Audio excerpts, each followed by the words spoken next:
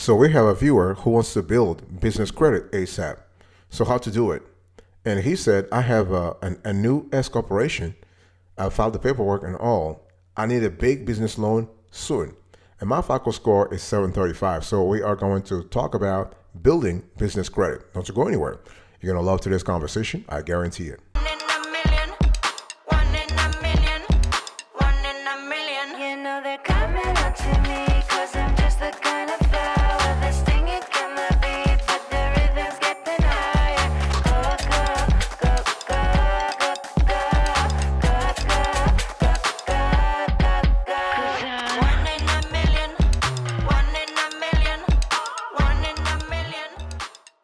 Welcome back, folks, to another edition of the Awesome S'witty Kiwi Show. How are you today? I hope you are doing fantastic.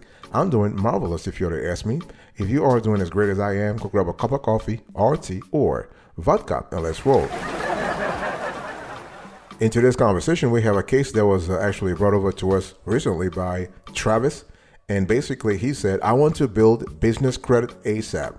How to do it step by step. I have a new S corporation and I have filed the paperwork and all and I need a big business loan very soon. My FICO score is 735. So, what is really going on here? Dear beloved viewers, we just want to summarize the case for you. So, we have Travis. He is a 47 years old. He's a male, and he lives in Cheyenne, Wyoming. And uh, his S corp, he filed an, an S corp that's that's ready. And one thing I want to say here is that Travis, you don't, you haven't filed an S corporation. S corporation is a tax construct. It's basically a tax concept. You probably have an LLC or you have a C corp, not an S corp, but that's just beside the point. So, going on with uh, the synopsis here, you have two interested clients already. So you have two clients, even though your business is new. You have clients. You have two clients that are waiting to to kind of like uh, bring your business. This is really good, and uh, you have a new landscaping company this is important. So your company is a new landscaping uh, company. You are married with three kids, and you are currently an irrigation assistant, and you earn about fifty-six thousand dollars a year. So here is the synopsis. I'm just giving this synopsis for our beloved viewers to have a clear idea of what we'll be talking about. So Travis, 47 years 47 years old, lives in Cheyenne, Wyoming, and he has a, a corporation that's just new, and he's trying to build business credit and he has two interested clients already. This is really good. And uh, he is uh, currently an irrigation assistant. This is really good also. So, Travis, we are going to give you all the uh, all we are going to spill all the beans that you need to have the right strategies to build business credit very uh, very easily. Beloved viewers, please feel free to pitch in, feel free to contribute. We believe in collective wisdom. We have done our research. We can provide some of the some of the, the guidance that we we can based on our experience in this industry for the last 30 years. But it's also very important to rely on our beloved viewers' feedbacks and uh, expertise.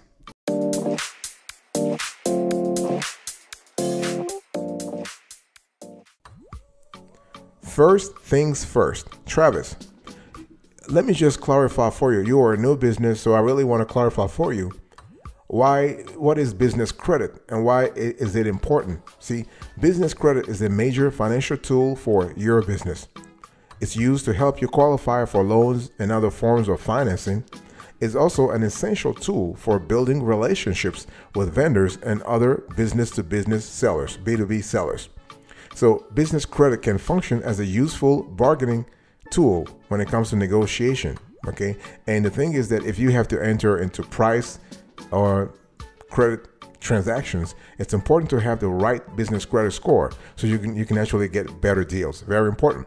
So here are five benefits. I'm actually uh, reminding you, Travis, but everybody else out there, why business credit is really important and why you should seek to build business credit as soon as you have filed the paperwork for your new business. Okay. So here are five benefits of having good business credit. Financing is cheaper, right? I mean, for your uh, new landscaping company, as soon as you have built business credit, you will realize that financing will become cheaper. Vendors may not require prepayment. This is really good because you really want to save. You want to save on cash flows. Very important. Okay, suppliers and lenders may agree to uh, better terms because they know that you have a good credit, a good business credit score. And when we talk about business credit score, we're not just speaking about the um, the DNB Paydex score. You also have Equifax business score. You also have the Experian business score. Very important.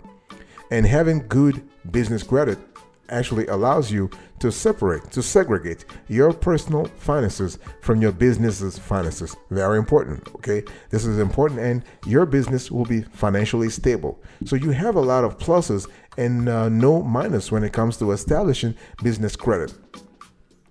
One thing I the reason why I'm just reminding you of this is because Travis, in the conversations we had with you, in the emails we exchanged with you, you asked us something very importantly, something very important. You said, Is it important at all to establish business credit? Do I really need it? And our answers to you is yes.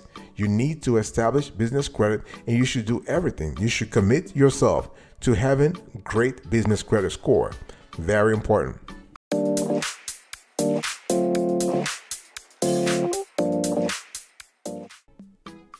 I want you to be careful. Travis, I want you to be careful. Keep in mind, and I just said this earlier, keep in mind that S Corporation is purely a federal tax construct, something you agree on with the IRS. Okay, there is no entity type at the state level called S Corporation. You have LLC, partnership, corporation, and whatnot, but you don't have S Corporation. You elect S Corporation status with the IRS. Some states might grant you the same tax benefits, but essentially it is a federal tax thing. Okay, so basically, make sure that you comply with, with the requirements of whatever legal structure you have at the state level.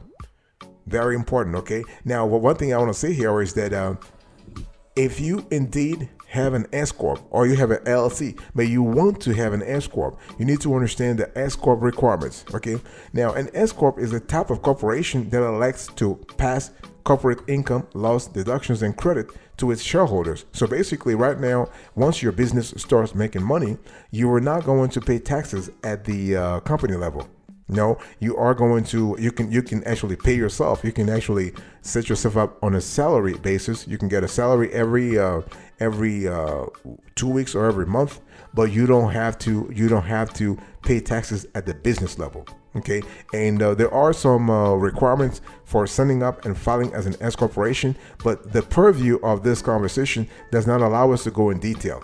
But one thing I want to I want to say very clearly is that be careful of the legal structure that you choose. Okay, it's very important to be clear about things like if so. If you want to go with S corporation, remember there are some bureaucratic requirements. The IRS will actually audit this business like crazy. So make sure that you have the all the information. Travis, if you made a mistake, if you meant C corporation instead of S corporation, please tell us in the comment section or email us back so we have a clear understanding that we're not talking about S corporation here, we're talking about C corporation, and that we can actually adjust our advice to you. A C corporation is is is not a federal tax contract construct. There are C corporation regulations. You can actually file paperwork with the state. It's fine. But uh, yeah, one thing I want to say here also before closing on this uh, on this part is that please remember you can elect S corporation status by filing something called Form 2553 with the IRS.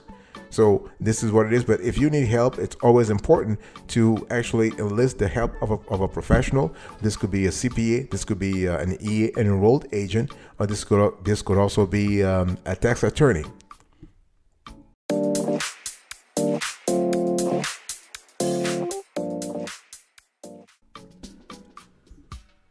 Now, let's get back to the, the question that you, you really asked.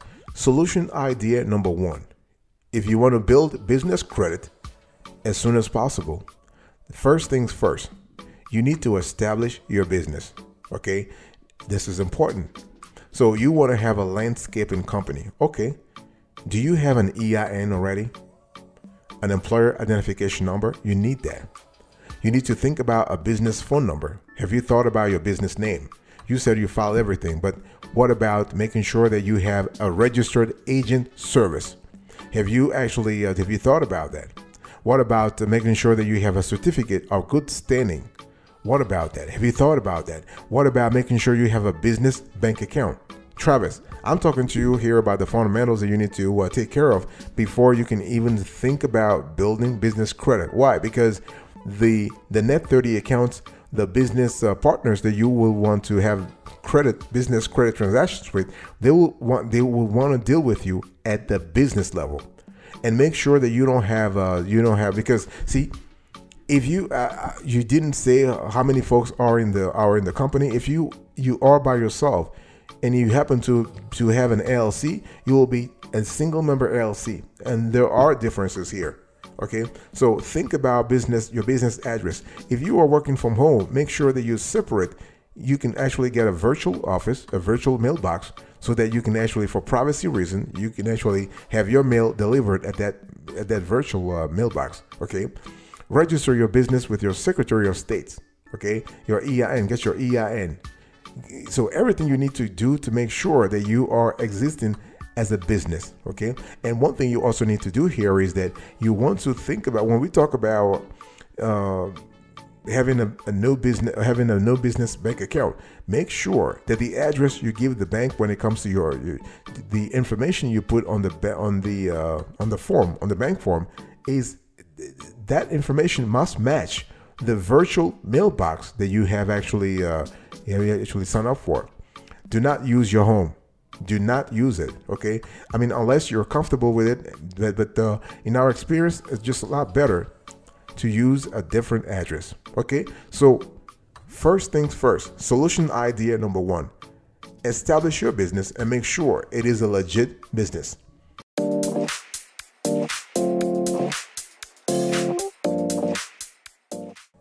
Solution idea number two. I just uh, previously talked about it, but now I want to dig a little deeper.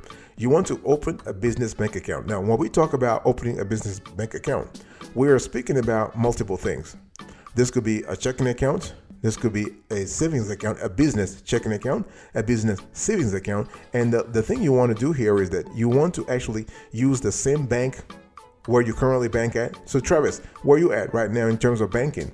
So, whatever bank or credit union you currently use for your personal accounts, use them also for business bank accounts if they offer business services. That way, you don't have to start over. You don't. You don't have to start anew. You can you can just uh, parlay your existing your existing relationship at the personal level into a business relationship. This is really great. You you save a lot of time, energy, and you don't waste. You don't have to provide paperwork anymore. You can provide some minimal paperwork, but not a lot. Okay.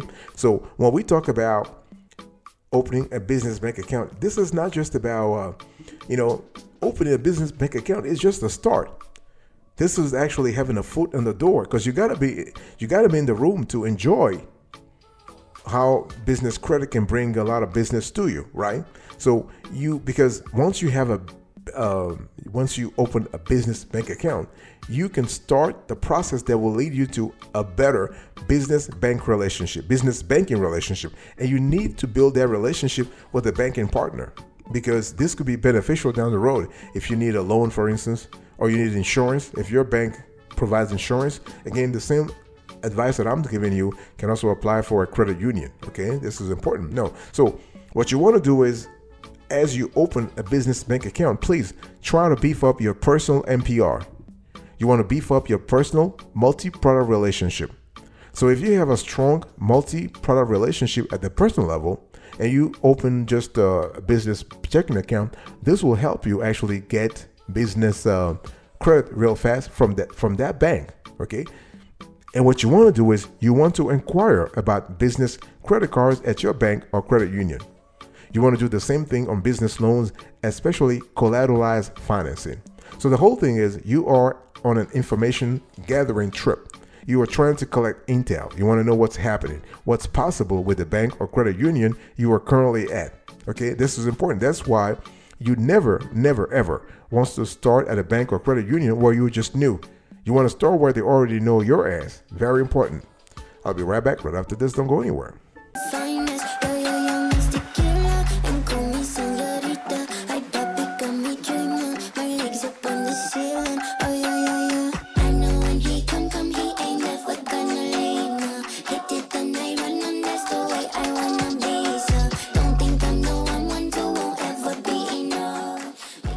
Welcome back, folks, to another session of the Awesome S'witty Kiwi Show. We're also having a conversation about uh, Travis, and Travis wants to build business credit as soon as possible.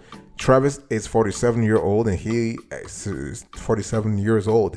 He lives in Cheyenne, Wyoming, and uh, he actually he has a new landscaping company. He's married with three kids, and he's he's currently an irrigation assistant, and he wants to create. He already created, by the way, uh, a new landscaping company. So Solution idea number three Travis, you want to continue building relationships with vendors. So the thing here is that you are currently an irrigation assistant. And I'm sure that in your industry, you probably have a lot of clients. Why don't you just start with them? You know, why don't you just? Uh, hopefully, you have a great relationship with uh, with uh, whomever you you are currently dealing with as an irrigation assistant. So why don't you just parlay that great relationship at the uh, at the personal level into a business relationship? Why don't you ask directly those clients to give you a chance? You know, talk to them about your business, uh, your new business. Tell them that you are looking for you are looking for business, and you would love to help them out. And the whole thing here is that you can even start. You can even start with uh, small amounts okay? In some cases to get uh, the thing is that you want to make sure that they're those vendors trust you. And if they have dealt with you in the past they will trust you. They will definitely trust you okay? So the whole thing is you build credit by paying on time or early with vendors that report to credit agencies okay? Now not all vendors do and not all vendors will actually report to the same credit agencies. So you need to consider what your business needs your uh, new landscaping company, you want to look up which vendors in that vertical report to credit agencies. We have actually covered this on, on other shows, but uh, some of the vendors that you might want to uh, pay attention to are Grainger, for example. Travis, are you listening? Okay, you have a you have Uline, you have Walmart, you have Wise Business Plans. Okay, so those are really important. And one thing you also want to do here is that you want to apply for small business lines of credit from online lenders that report. Okay, so what's the what's the game plan here? The game plan is uh, to build a relationship with vendors and also look for small business line of credit from online lenders that report. Very critical.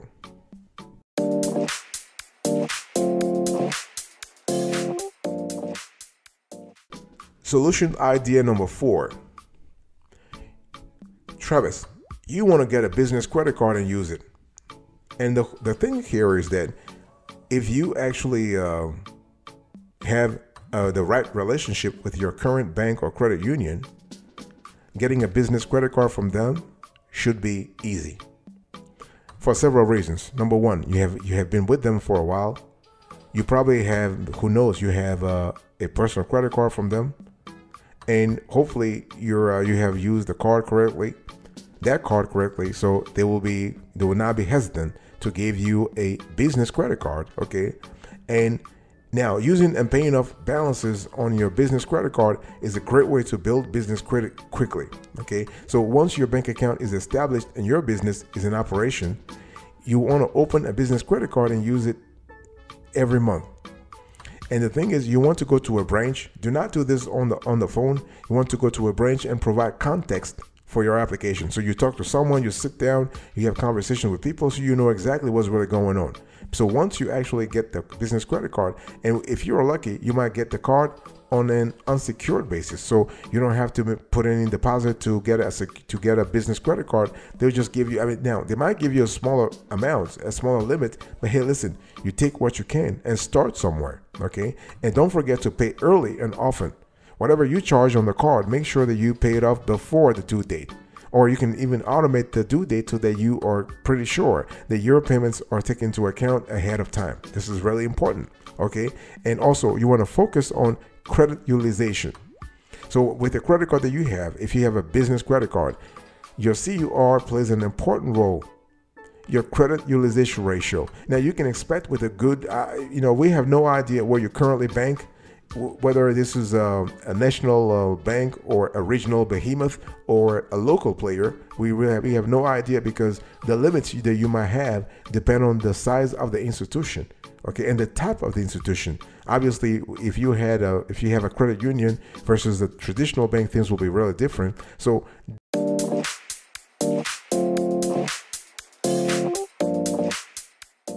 Travis, this is really what I want you to do. Okay. So, solution idea number one, you want to establish a legit business. Solution idea number two, you want to open a business bank account. Solution idea number three, you want to seek net 30 vendors. And solution idea number four, you want to get a business loan or a business credit card and just use it. Very important. Thank you so much for your attention. I really appreciate it. I want to thank our beloved viewers. Travis, I want to thank you also for be, for being here with us, and uh, hopefully our viewers will continue the conversation and help you out, giving you advice, giving you tips and hacks and and whatnot to help you establish your business credit really fast.